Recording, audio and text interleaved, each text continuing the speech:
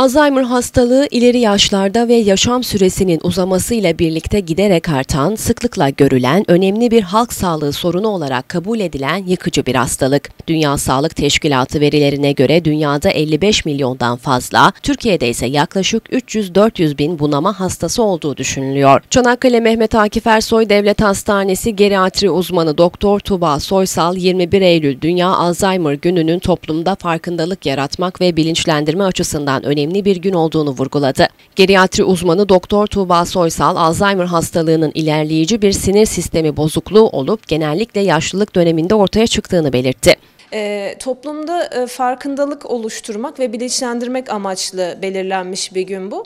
E, demans yani bunama e, dünyada 55 milyondan fazla insanda görülmeye başlandı ve gittikçe artıyor yaş ilerledikçe. Türkiye'de de yaklaşık e, 300-400 bin civarında e, demans bunama hastası olduğu düşünülüyor.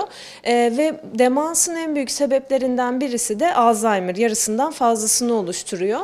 E, bu hastalık neden neden önemli? E, kesin bir tedavisi yok ve ilerleyici kronik bir hastalık.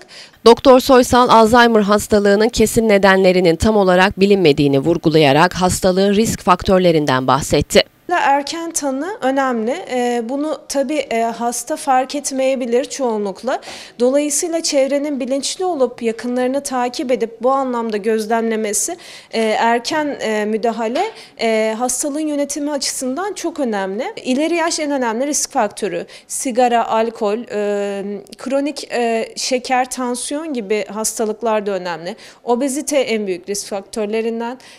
Eğitim düzeyinin düşük olması da önemli gibi risk faktörlerimiz var. Alzheimer'a karşı bireysel olarak alınabilecek önlemlere ilişkin beyni aktif tutmanın önemine dikkat çeken geriatri uzmanı Doktor Tuğba Soysal, bilişsel ve fiziksel egzersizle sosyal aktivitelerin Alzheimer'a karşı koruyucu olabileceğini söyledi. Ne yapabiliriz peki hastalığı önlemek için? Ee, ilk etapta e, tanıyı koyduktan sonra, sebebi bulduktan sonra sebebe yönelik B12 vitamin eksiklikleri varsa onları tedavi etmek. E, düzenli ve sağlıklı beslenme, dengeli beslenme beslenme çok önemli. Uyku kalitesi çok önemli. E, fiziksel aktivite, e, spor, yürüyüş, herhangi bir şey ne yapılıyorsa hastaya uygun yüzme.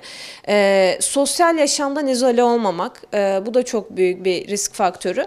E, dolayısıyla hastanın zevk aldığı, sosyal hobilerini devam ettirmesi, insanlarla bir araya gelmesi, sevdiği kişilerle e, hastalığın kesin bir tedavisi olmadığı için e, hani olan sem semptomları bir iki ilaç var gerçi. E, bunlarla biraz hastalığı yavaşlatıyoruz hasta ve yakınlarına yardımcı olmak adına.